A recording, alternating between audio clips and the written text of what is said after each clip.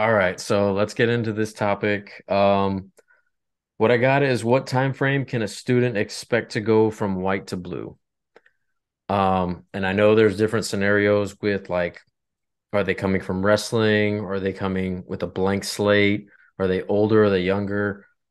Um, I know with IBJJF, there's right now there's no time limit on white to blue. So just I guess I guess from your perspective, what's the earliest you've seen white to blue, and then what's the longest you've seen from white to blue? So I'm assuming you're wanting to have it in like months or years and stuff. Uh, yeah. Um, maybe trying to avoid injury time because I know that that kind of throws a different Mm. different caveat into the mix. So Mhm. yeah, maybe maybe months, maybe years. I don't know if you have a mat time metric or I, Yeah, so I would say an average student is between a year to year and a half if I had to just put a blanketed timestamp on it. I've had a student finish it. I've had a student do it as a fast as with no grappling experience, no anything, about five months, to I've had someone take four years. and so So with, with the five month that you said you had, is is that somebody coming from different background, judo or wrestling, or no, nothing. Only just jujitsu. they're just super athletic and they were Well, they so at our academy that we teach and train out of, we have basically two main ways that we grade for a blue belt.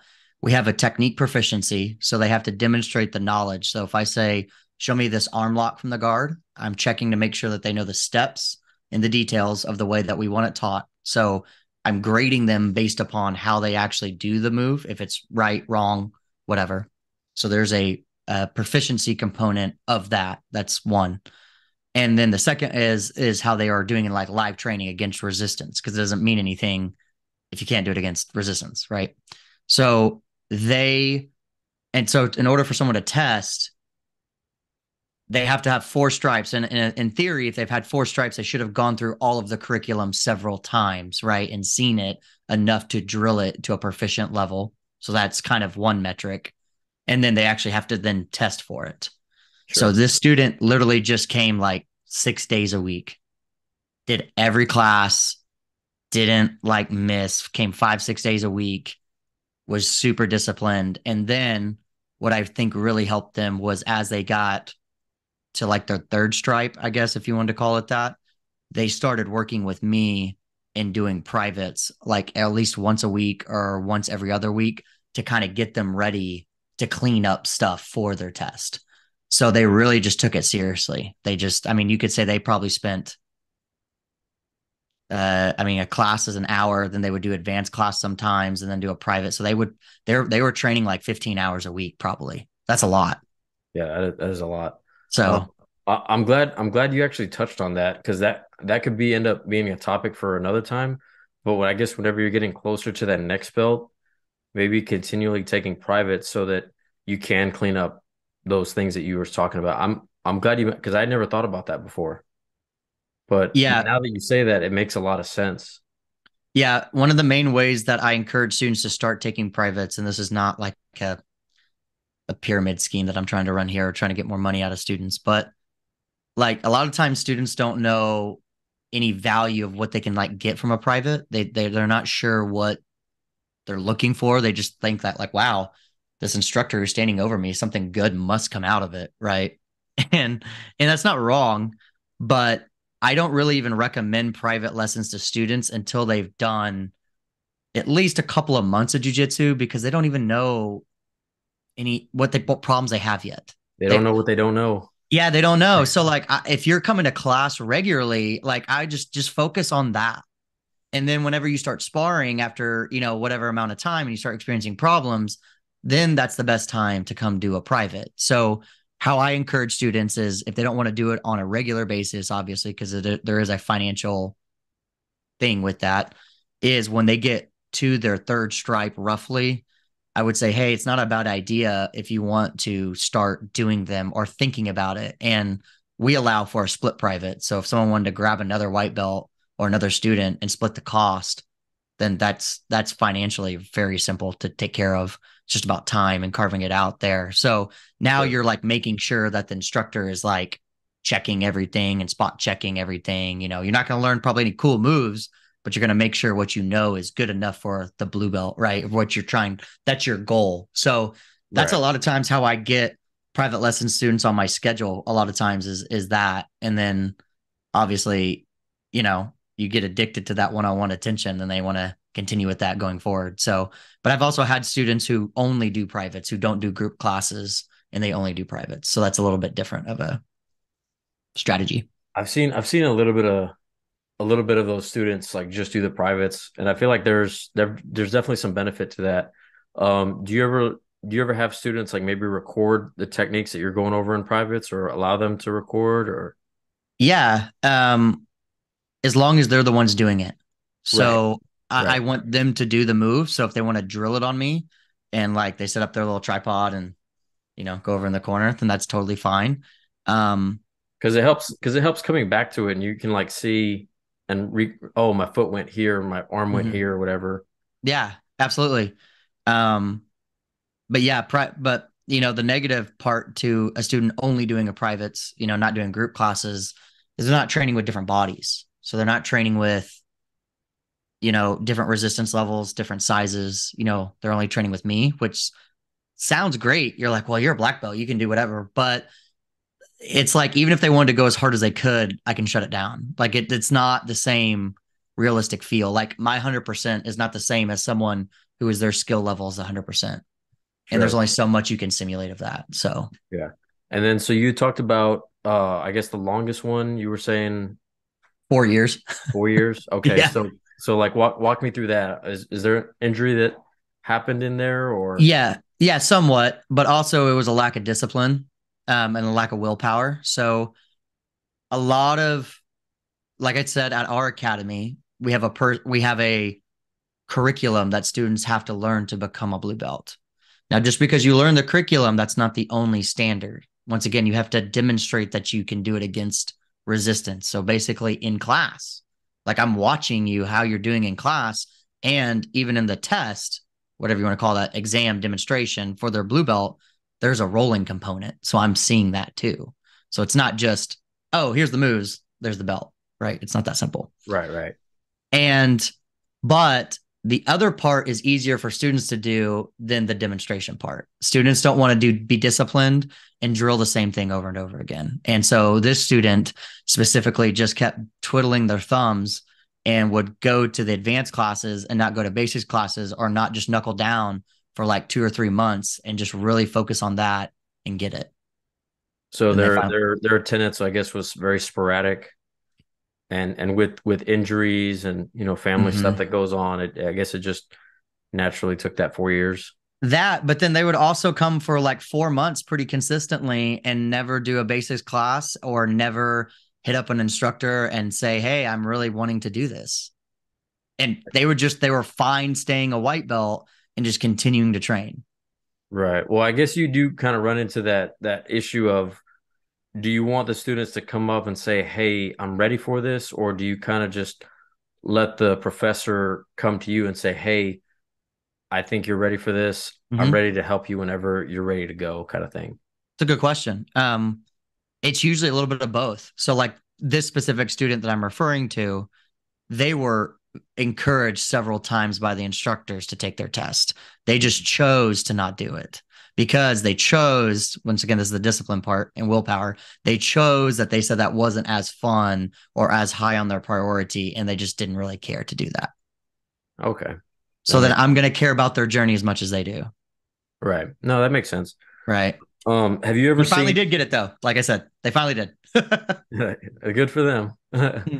that's a big step but yeah uh i imagine you know being belt for four years there's there's some aspect to there's a good aspect of that where now you're potentially if if you've been putting maybe enough work in but not enough to be a really good blue belt now you're a pretty good beginner entry level blue belt.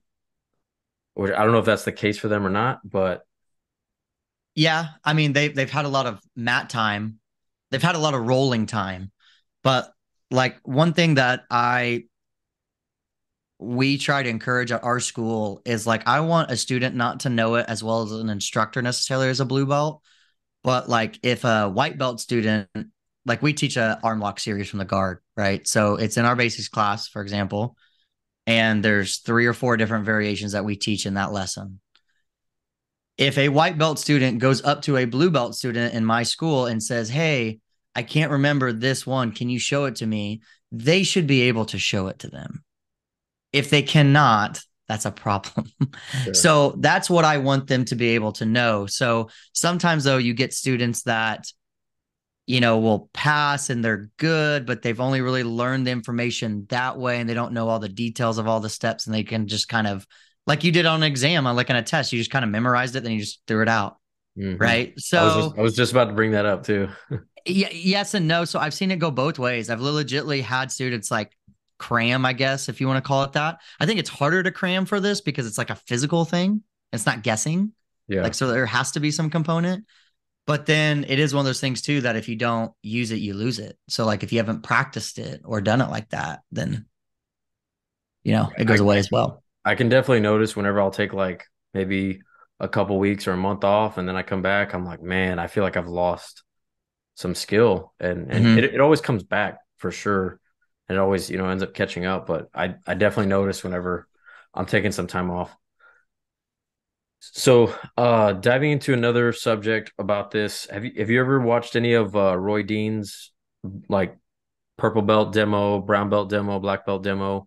And have you ever seen like i, I don't know if that's kind of how y'all y'all run it because from from my perspective watching the roy dean demonstrations is they'll typically go through their curriculum of what you had you had mentioned of hey do these techniques or do mm-hmm. the techniques of what you want to demonstrate of what you think a blue belt a purple belt a brown belt level is. And then at the end of that they end up rolling. Mm-hmm. but i don't know if you've noticed how they roll. And this is where i was going to ask you how your rolling aspect differs. They'll typically start them like if it's a blue belt demo they'll start them with another blue belt and mm-hmm. then after that blue belt, they'll roll them with a purple, and then yeah. a brown, and then it's Roy Dean at the end. It's like yeah, so kind of a gauntlet style, yeah. like you know, yeah. So is that how you have people roll, or is it typically just during class you watch them roll? And are you watching for people that maybe they're the same weight class or skill level, or what if what if these white belts are bigger? Are you watching that too? Like like walk me through that a little bit.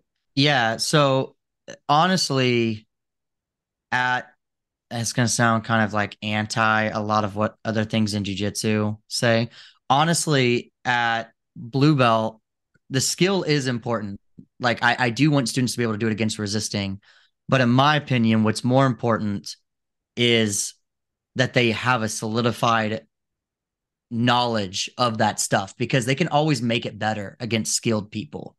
Like once again, that belt fitting too loose type idea. As mm. long as they understand it, then they can continue to roll and spar and train and make it better. Right. Mm. So I'm more looking when we do our test, a majority of it is the demonstration because we're trying to see all of the techniques, right? We're trying to see to make sure you know them all. And then, yes, in class, I have seen them roll, I have seen them spar. And then a lot of times I've sparred with them myself, like was, several times uh, in I was, class. I was just about to ask that too. Yeah. Yeah, in class. So I've kind of watched them already. And then at the end of their um, test or demonstration, whatever you want to call it, they usually will spar with the main instructor that's there. So if it's like myself, they're going to spar with me. If it's my my instructor who's running the test, they're going to spar with him. So it's only really against that.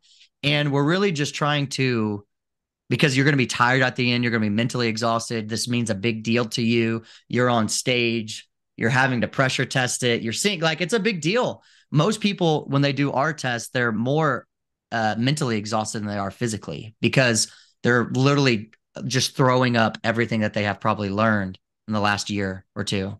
So they're exporting it they're thinking of it they're doing it and then at the end now they got to go fight usually a black belt. And so we're trying to see kind of what they're doing. And i'm not expecting them to beat me.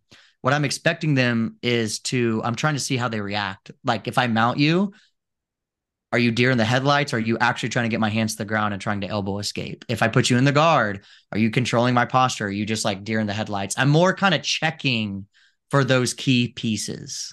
Yeah. Well, and I'm sure being at the end of the class too, it also helps because with them being as tired as they are, if they're able to pull off some of that stuff that you're looking for, you kind of know, man, even exhausted, this person's got it. Maybe fresh, this person has it to a little bit higher proficiency. Mm-hmm. Mm-hmm. So, and, um, yeah, yeah, so we're not looking what much for like it's not like a grade on that one. It's basically just like a pass or fail. Like I'm just like, was it good enough to be a blue belt? Like, are you doing majority of the things right? Yeah, but you know, you're gonna get better, you're gonna get improved. So um with the Roy Dean thing, you know, we don't really put them through all the different belts. You know, we've talked about that before, but it's just it takes a lot of time. I got to recruit people. I don't, I don't, I don't, I don't know. no, it seems like a cool concept, but yeah, that's that's a uh, to be exhausted as you are and then have to go with the black belt at the at the end level. It's like, man, I, I can't imagine. Usually, what our students will say though is that they feel like that they earned it because they actually did like an hour to hour and a half like te- like they did something to earn it not not that saying that if you got your blue belt because you won a tournament they promoted you on a podium you did do something you won like you did do that but a lot of times you're just like well did i get it because i won the tournament or and, and it might be that like obviously you had to put in work in the room in other ways but sometimes students just get belts because they showed up to class one day and they're like i don't really know why i got it but i guess it's because i did good but when you kind of put it into an exam format, it makes students be like, okay, I got it. Yeah.